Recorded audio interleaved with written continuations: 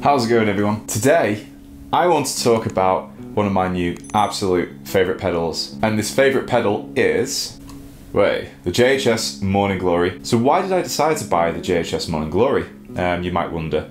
Because I'm obviously not really the type of player who uses a lot of light gain to medium gain. Around 2020, I bought the JHS AT Plus. Now, this thing excels obviously at high gain. So, you know, it's based off the Angry Charlie, which was based off the JCM 800. This is Andy Timmons' version. And as much as I love the JHS AT Plus, and you can see that I never sold it, it's really only for high gain. So I'm either going from a clean sound all the way to this. Um, there's no bridge in between, but I just needed something that wasn't clean to all out uh, distortion. I needed something that was kind of in the middle. So now I'm able to get three different overdrives, two from the Morning Glory and then one for the all out rock, which will come from the AT Plus. So that was the idea.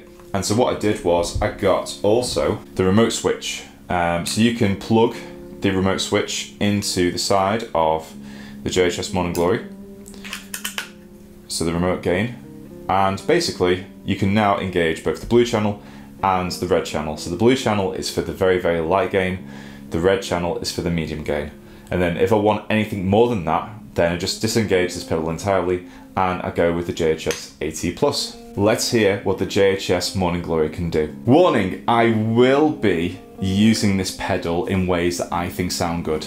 I don't think the way I set this pedal is the way traditionalists, the fans of the original Marshall Blues Breaker, would be setting this pedal, but I'm giving you a forewarning those traditionalists that I am using it in the way that I please. I will be showing you all the different sounds you can get out of it by manipulating the tone control and the drive control, so don't you worry. Don't be upset if I don't use it the way it should be used. I'm not trying to create the Bluesbreaker sound. I'm literally not even thinking about trying to emulate the amp. I'm just setting the dials to what I like and that's it. So as well as the PRS MT15, I'm also using the Suhr Reactive Load IR and I've set it to preset 3.2. First with the treble dial pulled out in the amp so that it gives breakup to the clean sound. Then what I'm going to do is I'm going to show you how the Morning Glory sounds just on a clean sound on its own. So I'm going to actually push the treble dial back in on my PRS MT15 so we just get the clean signal and nothing else and everything else is going straight into my MacBook. There's no plugins on the channel strip. I'll also be showing you the high cut function. So I'm going to be showing you some tones with the high cut switched on and the high cut switched off. I always switch the high cut motor on because I like a warmer tone just to tame the top end. And as I say, we're going to be tweaking the dials in real time so you can hear how they sound. So here's how the amp sounds without any effects whatsoever and without the Morning Glory engaged.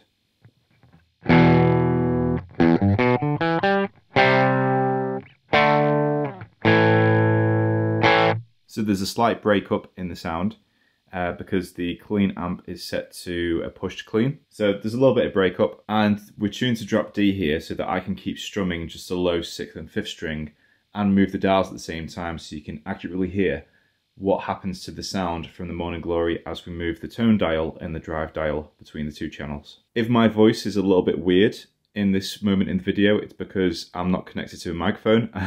I'm just talking right at the camera. I've got the remote switch engaged. There we go. Let's see how it sounds.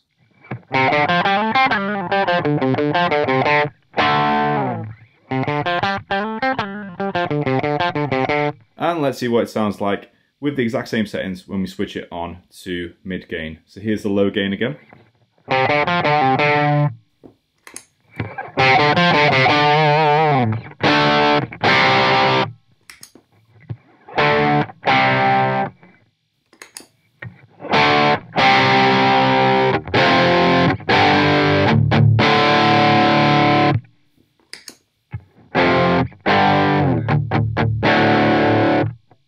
So I personally like both sounds. I use both the light gain and the mid gain and I just interchange between them. I'm really starting to enjoy using the light gain as a replacement for just using the pure clean from the amp because if you dig in really hard, it breaks up. But if you play lightly, then it just adds a little bit of compression. So right now I'm going to show you how the Morning Glory stacks up with the Tube Screamer. First things first, I'm going to engage the mid gain on the pedal I have this at this stage.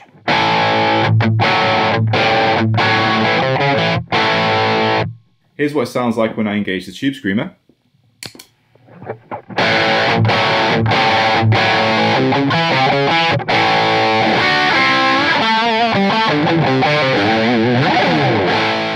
Right, so just as a reminder, this is what we started off with.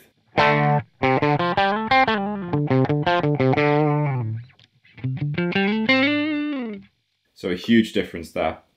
Right, so let's go back to just focusing on the Morning Glory. This time, let's manipulate the tone and the drive so that you hear what it sounds like in all the different settings. I'm just going to play the open drop D power chord. Let's see what it sounds like on the low gain. And let me keep doing that as we move the tone control.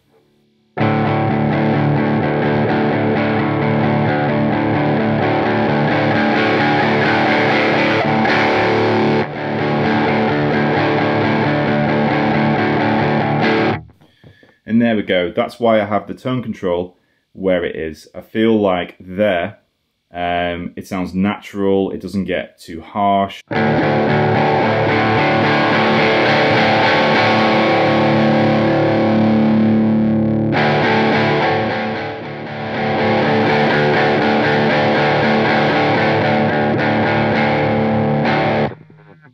Back to my favorite setting. Let's do the same now with the uh, mid gain. So just as a point of reference, this is my favorite tone with the mid gain too.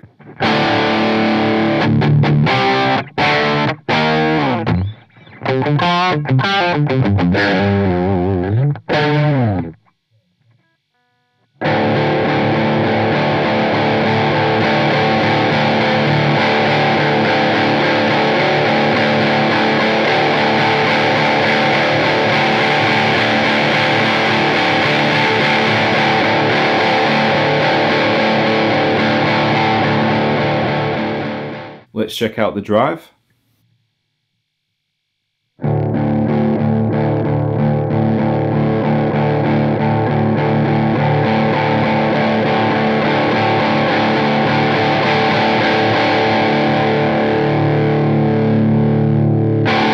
And there we have it, that's the pedal. I've also um, got the high cut engaged. Um, let's, just out of interest, hear what it sounds like with the high cut. Here's with the high cut off.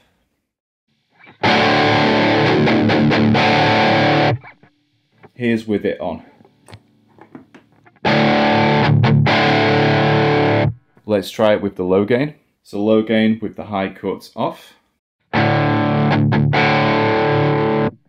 And then low gain with the high cut on.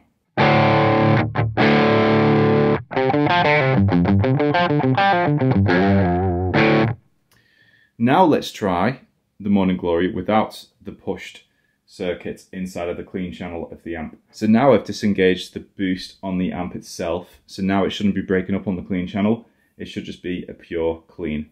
I've kept all the EQ settings the same on the amp. Let's hear how the Morning Glory sounds now.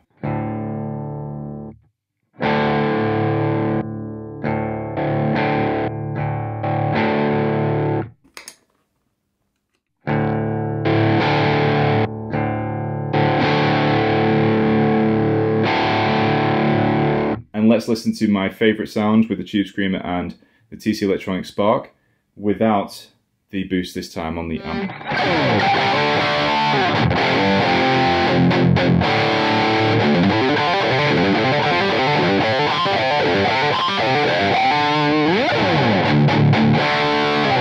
And let's try moving the tone in the drive again on the JHS Morning Glory without the boost from the amp.